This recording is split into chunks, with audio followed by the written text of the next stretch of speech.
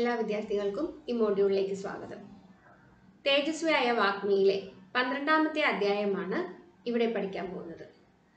പതിനൊന്നാം അധ്യായത്തിൽ കന്യാകുമാരിയിൽ വെച്ച് വിദേശയാത്രയ്ക്ക് മന- മാനസികമായി തയ്യാറെടുക്കുന്ന നരേന്ദ്രനെയാണ് നാം പറഞ്ഞ് അവസാനിപ്പിച്ചത്.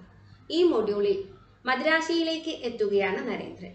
എന്നാൽ തന്റെ നാടിന്റെ മതം അല്ലെങ്കിൽ തത്വചിന്ത അതെല്ലാം പ്രചരിപ്പിക്കണം എന്ന ആഗ്രഹം നരേന്ദ്രനുണ്ടെങ്കിലും ഒരുപാട് പണം ചെലവാക്കിക്കൊണ്ടുള്ള തന്റെ വിദേശയാത്രയോട് നരേന്ദ്രന്റെ മനസ്സ് അനുകൂലിക്കുന്നില്ല. അതെല്ലാമാണ് ഈ അധ്യായത്തിൽ വരുന്നത്. വിദേശയാത്ര പോകാൻ ഒരുങ്ങുന്ന വിവേകാനന്ദന്റെ മനസ്സിൽ ഉണരുന്ന ആശയക്കുഴപ്പം പിന്നീട് ശ്രീരാമ പരമഹംസ സ്വപ്നത്തിൽ വന്ന് വിദേശയാത്രയ്ക്ക് അനുകൂലമായ ഒരു ദിവ്യ തേജസ്സായി പ്രത്യക്ഷപ്പെടുകയും അനുവാദം നൽകുന്ന പോലെ ഒരു ചിന്ത നരേന്ദ്രനിൽ ഉളവാക്കുകയും ചെയ്തിട്ടാണ് നരേന്ദ്രന്റെ വിദേശയാത്ര പുറപ്പെടാമെന്നുള്ള ഉറച്ച തീരുമാനം ഉണ്ടാവുന്നത്. അപ്പോഴും മുന്നിൽ പ്രതിസന്ധിയായി സാമ്പത്തിക പ്രശ്നങ്ങൾ ഒരുപാട് തരണം ചെയ്യേണ്ടി വരുന്നുണ്ട് നരേന്ദ്രന്. ഒടുവിൽ ഗേത്രി മഹാരാജാവ് സഹായം വാഗ്ദാനം ചെയ്തിട്ടാണ് നരേന്ദ്രൻ യാത്ര പുറപ്പെടുന്നത്.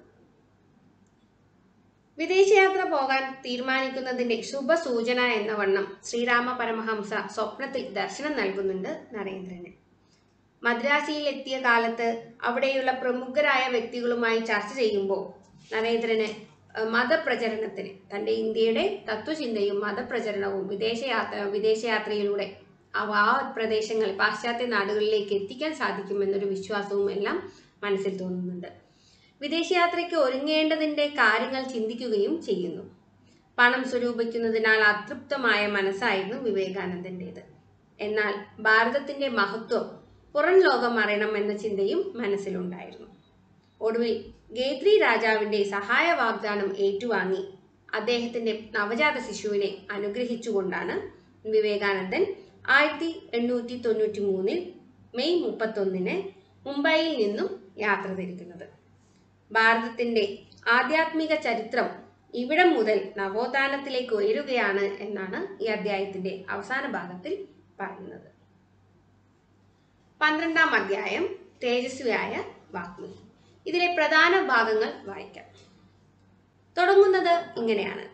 ദേശത്തേക്ക് പോകുന്നതിനെ കുറിച്ച് ഉറച്ച ഒരു തീരുമാനം അപ്പോഴും നരേന്ദ്രൻ എടുത്തിരുന്നില്ല. ഭൗതികതയിൽ സമ്പന്നമായ പാശ്ചാത്യ നാടുകളിൽ ഭാരതത്തിന്റെ ആധ്യാത്മിക സൗന്ദര്യം നിറയുമ്പോൾ മാത്രമേ ഈ നാടിനെക്കുറിച്ചുള്ള അവരുടെ അവജ്ഞ മാറുകയുള്ളൂ എന്ന് നരേന്ദ്രൻ വിശ്വസിച്ചു. ശ്രീരാമ പരമഹംസ സ്വപ്നത്തിൽ ദർശിച്ച ഭാഗം പാഠത്തിൽ വിവരിക്കുന്നത് ഇങ്ങനെയാണ്. ഒരു ദിവസം ധ്യാനം കഴിഞ്ഞ് സ്വാമി ഉറങ്ങാൻ കിടന്നു. പെട്ടെന്ന് ഒരു തരം കഠിനമായ മയക്കത്തിലേക്ക് അദ്ദേഹം വഴുതി വീണു. ഉറക്കത്തിൽ ഒരു സ്വപ്നം തെളിഞ്ഞു വന്നു. വിശാലമായ സമുദ്രം. അവിടെ തിരയില്ല തീരവുമില്ല. നരേന്ദ്രൻ എവിടെയാ നിൽക്കുന്നത്? നിൽക്കുകയാണ്. അത് തീരമാവാം. പെട്ടെന്ന് ചക്രവാളത്തിൽ ജലത്തിനു മുകളിൽ ഒരു കുങ്കുമ നിറം പടർന്നു. അത് വലുതായി സമുദ്രത്തെ പൊതിഞ്ഞു. കുങ്കുമ നിറത്തിൽ മഞ്ഞ കലർന്ന പ്രകാശം നിറഞ്ഞു. ആ പ്രകാശത്തിൽ ഒരു മുഖം പ്രത്യക്ഷമായി. ശ്രീരാമകൃഷ്ണ പരമഹംസൻ. ഗുരു പുഞ്ചിരിച്ചു. നരേന്ദ്രൻ കൈകൂപ്പി പ്രണമിച്ചു. ഗുരു നരേന്ദ്രന്റെ അടുത്തു വന്ന് സമുദ്രത്തിലേക്ക് മാടി വിളിച്ചു. സ്വാമിജി ഗുരുവിന്റെ പുറകെ ചെന്നു. ചക്രവാളം തുറന്ന് അവർ അപ്പുറം കടന്നു. പെട്ടെന്ന് നരേന്ദ്രൻ ഉണർന്നു. ഇങ്ങനെയാണ് ശ്രീരാമ പരമഹംസ പാശ്ചാത്യ നാടുകളിലേക്കുള്ള നരേന്ദ്രന്റെ യാത്രയ്ക്ക് ഒരു ശുഭസൂചന നൽകിയതായി സ്വപ്നത്തിൽ വിവരിക്കുന്നത്.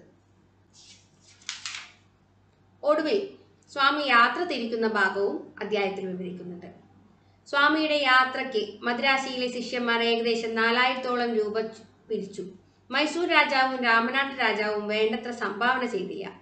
മദ്രാസിയിൽ നിന്നും യാത്രയ്ക്കുള്ള ഒരുക്കങ്ങൾ ശിഷ്യന്മാർ ചെയ്തുകൊണ്ടിരിക്കവേ ഗേത്രി മഹാരാജാവിൽ നിന്നും അടിയന്തരമായ ഒരു സന്ദേശം എത്തി. തന്റെ നവജാത ശിശുവിനെ അനുഗ്രഹിക്കാൻ ഗേത്രി സംസ്ഥാനത്ത് എത്തണമെന്ന്.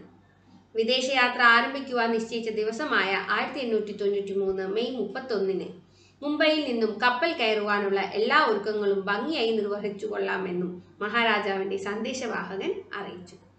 നരേന്ദ്രൻ ഗേത്രിയെ എത്തി മഹാരാജാവ് എല്ലാ ഒരുക്കങ്ങളും പൂർത്തിയാക്കിയിരുന്നു. ഭാരതത്തിന്റെ ആധ്യാത്മിക ചരിത്രം ഇവിടെ മുതൽ നവോത്ഥാനത്തിലേക്ക് പുരോഗമിക്കുകയായിരുന്നു. അധ്യായം അവസാനിക്കുന്നു. അപ്പോൾ പന്ത്രണ്ടാം അധ്യായത്തിൽ വിദേശയാത്രയ്ക്ക് ഗേത്രി രാജാവിന്റെ സഹായത്തോടു കൂടി നരേന്ദ്രൻ മാനസികമായും യാത്ര പുറ- പുറപ്പെടാൻ തയ്യാറാവുന്ന ഒരു ഭാഗമാണ് വിവരിച്ചത്. നന്ദി.